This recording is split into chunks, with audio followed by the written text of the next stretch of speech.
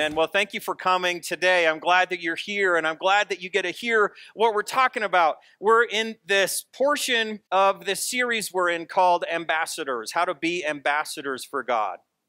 The more I talk about these things, the more that I meet people who actually are ambassadors or they're hosts of a group of people or like a concierge at a hotel or somebody who answers on behalf of other people. That's all we are. We're ambassadors for God. And so this morning, we're looking at this idea of how to be ambassadors in the world and how to represent God to other people. The scripture that we've been in is Second Corinthians chapter 5, verse 20. We are therefore Christ's ambassadors, as though God were making his appeal through us. God is making his appeal through us. God is inviting, he's in this world because we speak about him. We share our lives about him. We pray for other people around us. Again, I want to thank you for filling out these bookmarks with names of people. There are over 50 bookmarks on this table, and each one has over five names on it.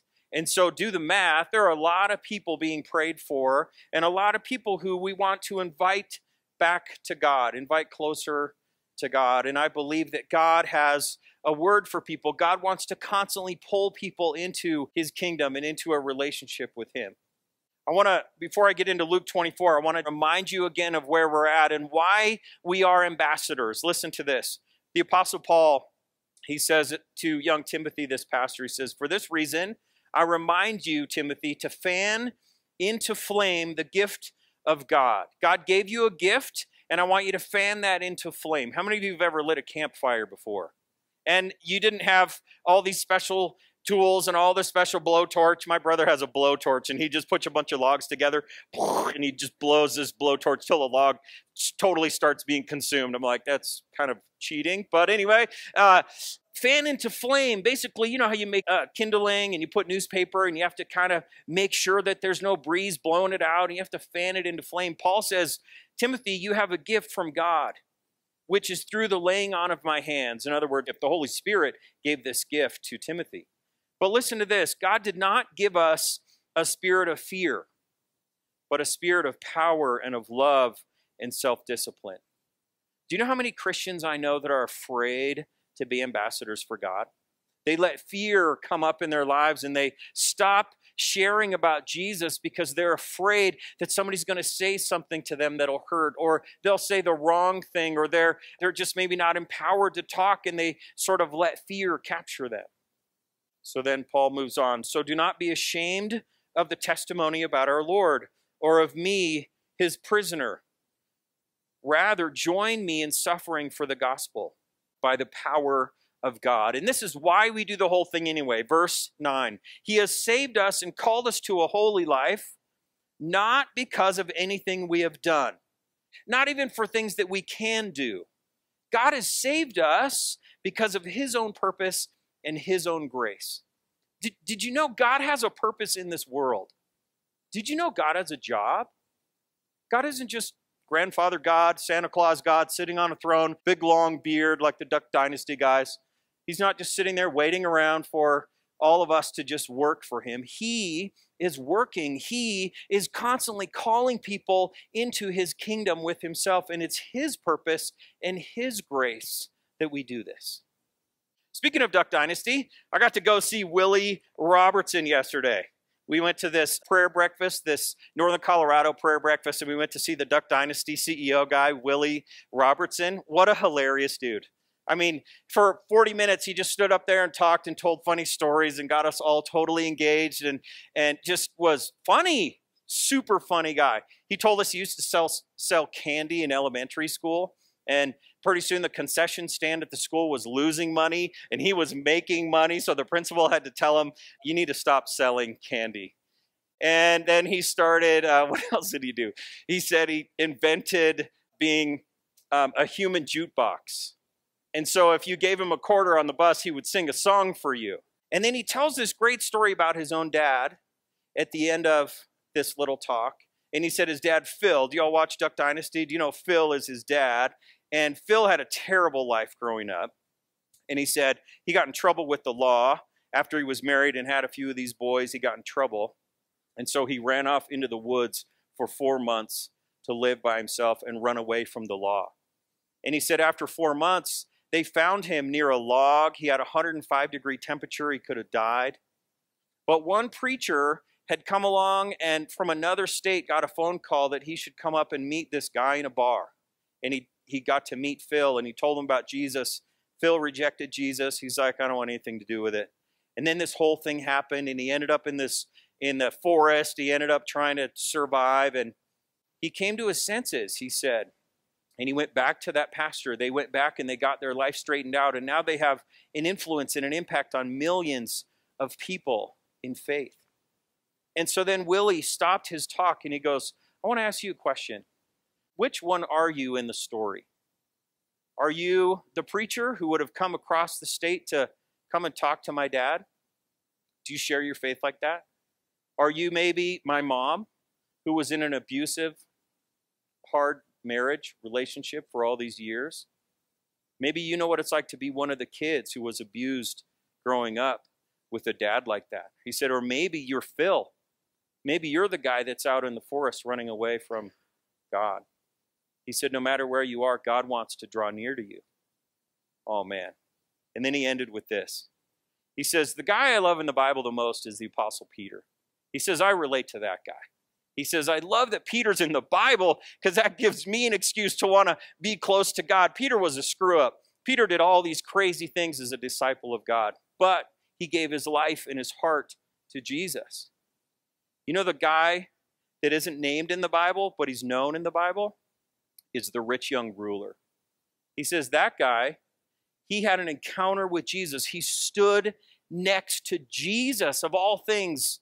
He stood with the Master, the Messiah. And Jesus said, Go sell all your stuff. And the guy said, No, I'd rather have my stuff. And he walked away from Jesus. He says, You know what that guy's name is? We don't know his name.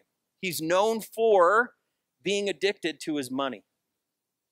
He's not doesn't have a name in the Bible. He says, just like us, are we known for our addiction? Are we known for what catches us up in sin? Are we known for the things that trip us up? Or are we the kind of person that would give our heart to Jesus and be known by our name?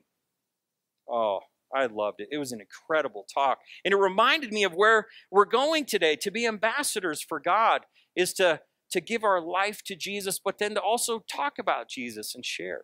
You know, this thing that I gave you in your program last week, this Bless curriculum? This is really effective. This is a way for us to look at five different ways that we can share our faith with people. And last week I talked about number one, it begins with prayer. It begins with writing names of people down and praying over people that we long for them to know God. If you want to grab one of these programs or if you want to fill out a bookmark, we can pray as a church over your friends. Is there somebody that you love that you want to draw back to God? We would love for you to fill out a bookmark and for us to pray as a group over them. The thing I want to talk about today is how to listen with care and how to eat together. I think how to eat together is pretty obvious. But I want to talk about how do we listen with care. And then next week, I want to talk about how do we serve with love and how do we share our story. So if you have your program and you want to fill out some notes, consider this. How do we listen with care in other people's lives? And now I'm a pastor, I get paid to listen to people. So, you know, I'm a professional listener, if you will. That was supposed to be a joke. But uh, I do. I listen to people and I have an ear for people. And when I talk with people, I tend to listen behind the words that they're saying. How do you listen to people? Do you listen to their story and just kind of wait for them to stop talking and take a breath so that you can cut in and start talking with them? Or do you listen to them? Do you engage with them? And we're going to talk about ways that we can listen with care. Number one is walk with people through their suffering. Do you know this is the most effective way to listen to somebody's heart? Is to walk with them through what they're suffering. A lot of people wear a mask. A lot of people are suffering. All of us have faced something that's difficult or sad or hurtful and hard to get through. It's the most effective way to actually listen to what a person has to say. Because you kind of move past the five o'clock news and you move past politics and you move past the sports and you move past all these sort of surface things that we talk about a lot and you get into listening to their lives. Now, some people weren't raised with a listening kind of atmosphere and attitude, and so it's kind of hard to share. So I want to share with you how this works. If we look at Luke chapter 24, I'm going to talk with you about how Jesus listened to these people when they were depressed. So here's how the story goes. In Luke chapter 24 and verse 13, it says, Now, that same day, do you know what day this was? This was the day that Jesus rose from the dead. This is the day that people are in Jerusalem and they're there for the Passover feast. And Jesus was crucified on Friday and he was dead all day Saturday. And then on Sunday, he rose from the dead. So this is the day that the resurrection happened. This is the new dawn. This is the first day of creation, if you will, after Jesus came back to life. That same day, two of them, two of who? The disciples. They were going to a village called Emmaus, about seven miles or 11 kilometers from Jerusalem. By the way, do you know the speed of walking? We walk generally at a pace of 3.1 miles an hour. If you were to go for a walk and walk for an hour, you would generally cover three miles. So, how long would these guys have been walking from one town to another for seven miles? Over two hours, maybe two and a half hours. So, they're walking along and they're talking about the things that happened about seven miles from Jerusalem. They were talking with each other about everything that had happened that weekend. As they talked and discussed these things with each other, Jesus himself came up and walked along with them, but they were kept from recognizing him. Do you know what that tells me? I wonder how often Jesus shows up for us today. I mean, if he showed up for these guys, does Jesus just show up and start walking with us? I mean, I don't know what your theology is. I don't know how you were raised in the church. I don't know what you believe about the book. But if Jesus resurrected from the dead, and he's God and God can be ever present, Jesus could show up anywhere at any time. I mean, it says in Scripture he's at the right hand of the Father and he's with the Father, but could he not just come and sometimes show up and he's walking and they don't recognize him? And he asked them, Hey guys, what are you talking about? I love that. You ever just shown up at work and asked some guy, Hey, what are you guys talking about? Hey, hey girls, what are you what are you talking about? What's going on? This is amazing because the very next verse caught me off guard. They stood still. They stopped walking. Their faces were downcast. They were depressed. They're like, "Oh, Jesus died." And it's changed our lives. We thought he was the one and he he died. What are we talking about? We're talking about Jesus and he died. They stood still. They just were overcome oh, with emotion. And then one of them named Cleopas. By the way, his name is written in the book. He's not the rich young ruler without a name. He's the guy that talked to Jesus. And he said, Excuse me, are you the only one visiting Jerusalem who doesn't know these things that have happened here in these last few days? Like, you can imagine his thought of like, what are we talking about? Are you kidding? Did you miss this whole thing that happened? Jesus was crucified, and you're asking me what we're. T- are you the only guy that missed the whole thing? Were you not watching TV? Were you not on your phone? Were you? Did you miss the whole deal? And Jesus goes, "What things?" I love that. I love that Jesus wants our perspective. Do you know Jesus listens to you and he cares and he wants you to share from your heart the things that are on your mind? Jesus says, What? Aren't what things? Totally playing dumb, totally listening to what they would say about him. So they go on. Well, you know, about this Jesus of Nazareth, they replied. He was a prophet and he was powerful in word and deed and before God and all the people. In verse 20, the chief priests and our rulers handed him over to be sentenced to death, and they crucified him. But we had hoped that he was the one.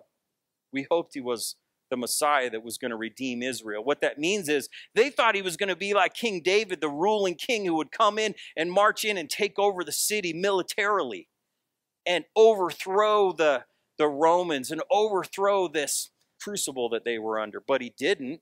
He did something else. And what's more, they said, it's the third day now since this took place. He kept telling us on the third day something would happen. On the third day, he would come back. On the third day, well, now it's the third day and they're crushed. In verse 22, in addition to some of that, some of our women amazed us. They went even to the tomb this morning, but they didn't find his body. You can just hear how disappointed these guys are. And then they came and told us about it and that they had seen this vision of these angels who said he was alive.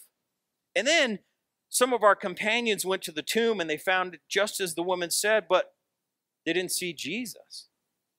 Okay, just pause the tape for a minute. Jesus is listening to all of this. And I'm sure he's smiling like, are you kidding me? Wait until I drop this news. Wait until I tell you the answer of what's going on. And these guys are just like, oh, totally down. And then Jesus says to them, listen to the sarcasm in Jesus' voice. He goes, How foolish are you guys? Now, I think the reason he says that is because Cleopas said to him, How foolish are you? Are you kidding me? You're not even here, and you, like you didn't even know what's going on. So Jesus retorts a little bit and goes, Hey, how foolish are you guys? And he kind of delivers back to them. Are you so slow to believe what the prophets had spoken? Didn't the Messiah have to suffer these things and then enter into his glory? And then, beginning with Moses and all the prophets, he explained to them what was said in all the scriptures concerning himself. Wow. That is a lot of conversation.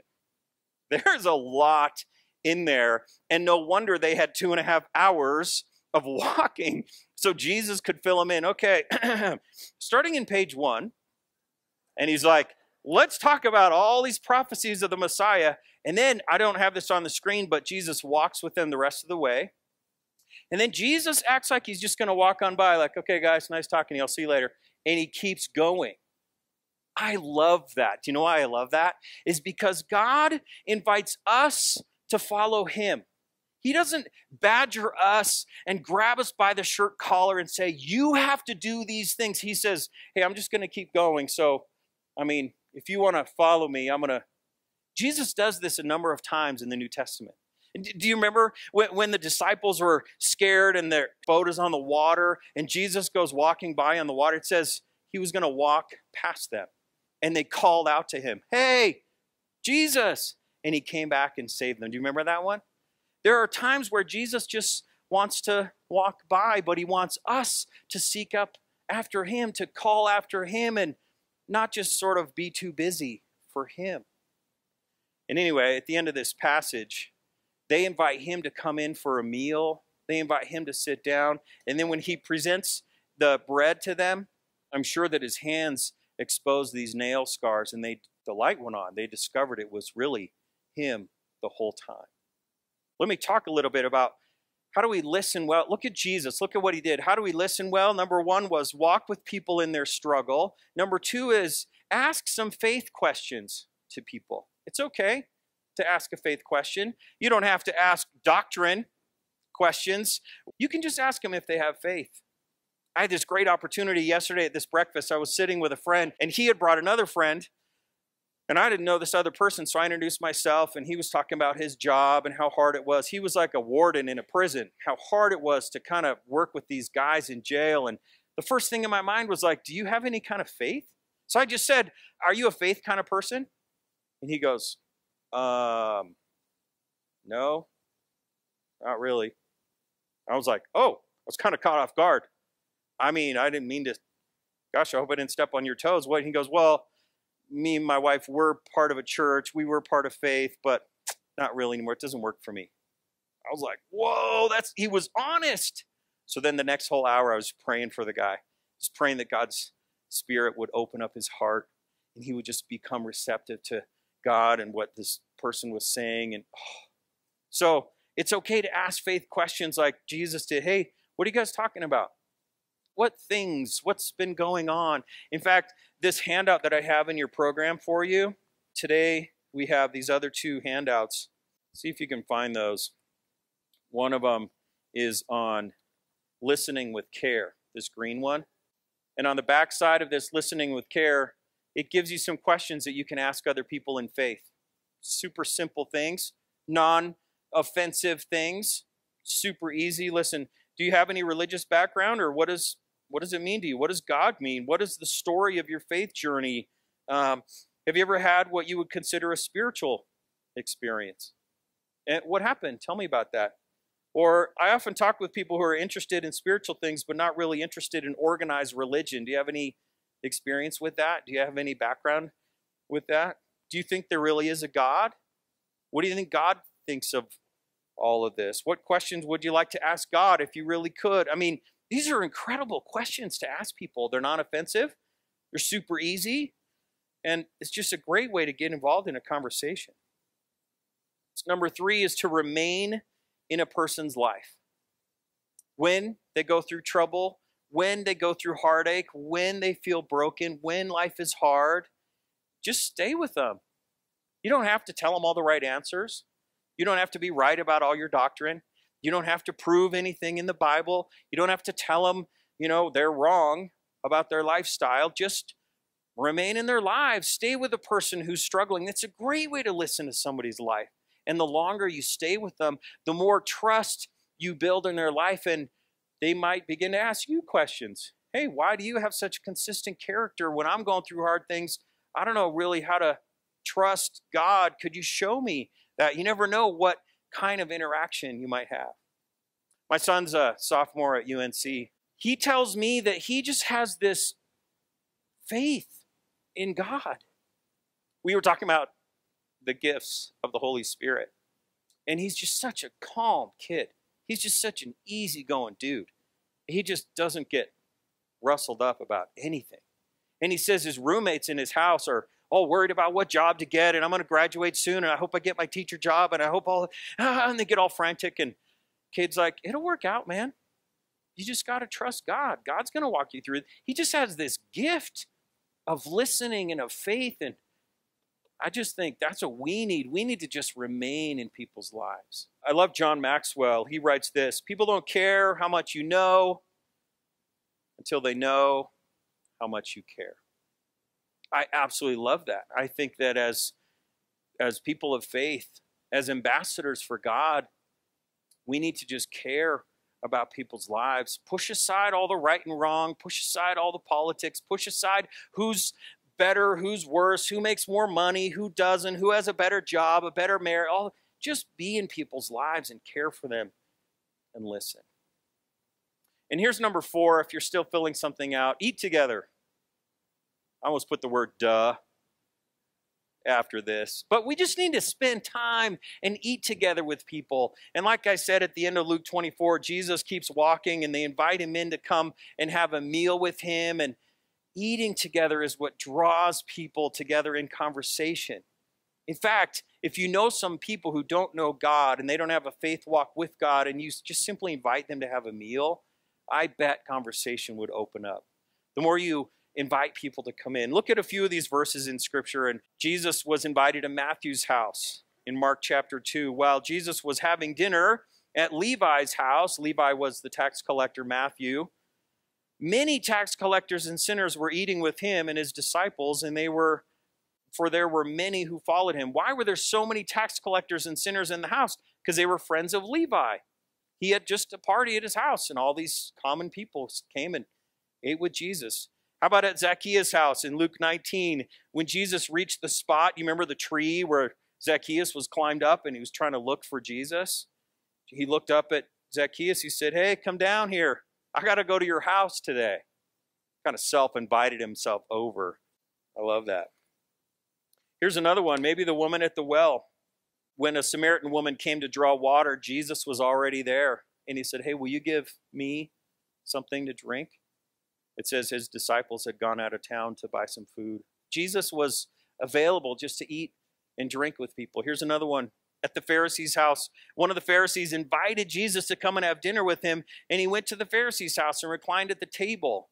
You know what that tells me? Is even the people that opposed Jesus, they invited him in. They wanted to hear his side of the story. Do you invite people in that disagree with you politically? Do you invite people in to your house if they disagree with you theologically? They have another view of something that you stand firm on in your doctrine. Would you invite somebody in who you totally disagree with? Like the Pharisees invited Jesus in. They're like, who is this guy? I don't know. Let's have a meal together. Let's find out. Here's another great verse in Luke chapter 14. One Sabbath, when Jesus went to eat in the house of a prominent Pharisee. Oh, this guy was one of the higher up, one of the CEO class. Jesus went with him, and people watched him. And here's a great one to end on in John chapter 21. Jesus had resurrected from the dead, and he had gone out and he walked on the beach and he started a breakfast. And he yells out at the fishermen, Peter and Andrew and James and John. They went back to work after the resurrection. They're, I'm going fishing. And Jesus calls out, Hey, how was fishing last night? And they're like, Oh, we didn't catch anything. He goes, Throw your nets on the other side again. Do you remember when he did that when they started their ministry? And Jesus goes, Hey, throw your nets on the other side. And they did. And they caught so many fish they could hardly bring it in. And then Jesus says, Hey, bring some of those fish in that you just caught. So Simon Peter climbed back in the boat and he dragged in the net ashore. And then, verse 12, Jesus said to them, Come on, let's have breakfast. Oh, let's just eat together. Let's just be together. None of the disciples dared ask him who he was because they knew that he was the Lord. And then Jesus, he broke bread with them and he did the same with the fish. And this is the third time Jesus appeared to the disciples. You know what you can do as an ambassador for God is just invite people in to your life. Have a barbecue at your house. Invite people in and enjoy fellowship, enjoy food together. That's what ambassadors do.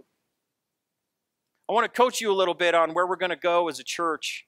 I get to take a break in March and do a little sabbatical time, and my wife and I have booked a couple trips already, some ways we're going to go kind of get refreshed.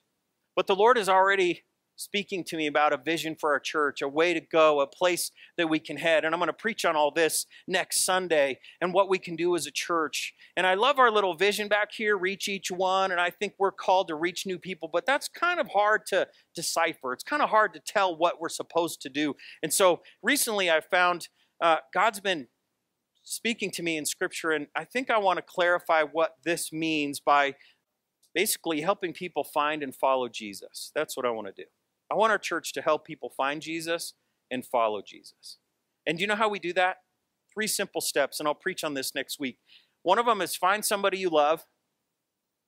Two, just tell them what you know. And three, bring them with you. Find, tell, bring. So easy. Just find somebody you love, people we already care about in our life. Tell them what you know about God.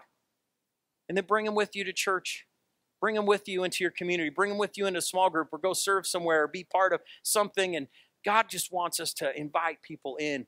That's what we are called to do. Let me remind you again that we're in this blessed curriculum because I think God is calling us to bless other people, to be ambassadors in the world that will bless other people with the kind of faith that we have and the faith that we know. And remember, in 2 Timothy, Paul says, God didn't give us a spirit of fear. He didn't call us to be afraid of this job. We shouldn't be afraid of sharing what we know. He gave us a spirit of power and of love and self control or self discipline, the ability to walk in confidence with God. So don't be ashamed of our testimony. God is calling us to live and to act and to walk and represent Him in the world. Again, I'm going to pray over these names and I'm going to invite God's Spirit to just do some work in our lives. So let's pray together. Now, you may be thinking to yourself, but my life isn't all that together. I, I don't know how to share God with people when my life is a wreck. My thought is, uh, you might be saying, well, Pastor, you get paid to be good. I'm just good for nothing. I don't get paid to be good. I don't get paid to do good things. I don't get paid to share Jesus. I don't care about money. The point is, God has called all of us on a mission to share his love in the world. And let me remind you, God doesn't want all of your stuff together before you can share. He gets your life together when you share, as you fall in love with Jesus. And here's why. Here's this verse I want you to go home with. In John chapter 15, Jesus is talking about the vine and the branches, and he's talking about how we remain in Jesus and we are part of his vine, and he gives us the power, and by his spirit, he produces fruit in our life. I want you to hear this verse, though. Jesus says, You didn't choose me, but I chose you and appointed you so that you might go and bear fruit, and fruit that will last, so that whatever you ask in my name, the Father will give you. This is my command love each other. He's like, You didn't choose me, I'm the one who chose you. I'm the one who gave you this commission, this call to be an ambassador in the world. And all it takes is love. All it takes is inviting somebody in. All it takes is listening, sharing our life and love with Jesus. Amen? We receive the blessing this morning as you go? We open our hands like this to receive God's blessing. May the Lord bless you and keep you. May the Lord make his face to shine upon you and be gracious unto you. May the Lord lift up his countenance upon you and give you peace both now and forever. Amen. Amen. God.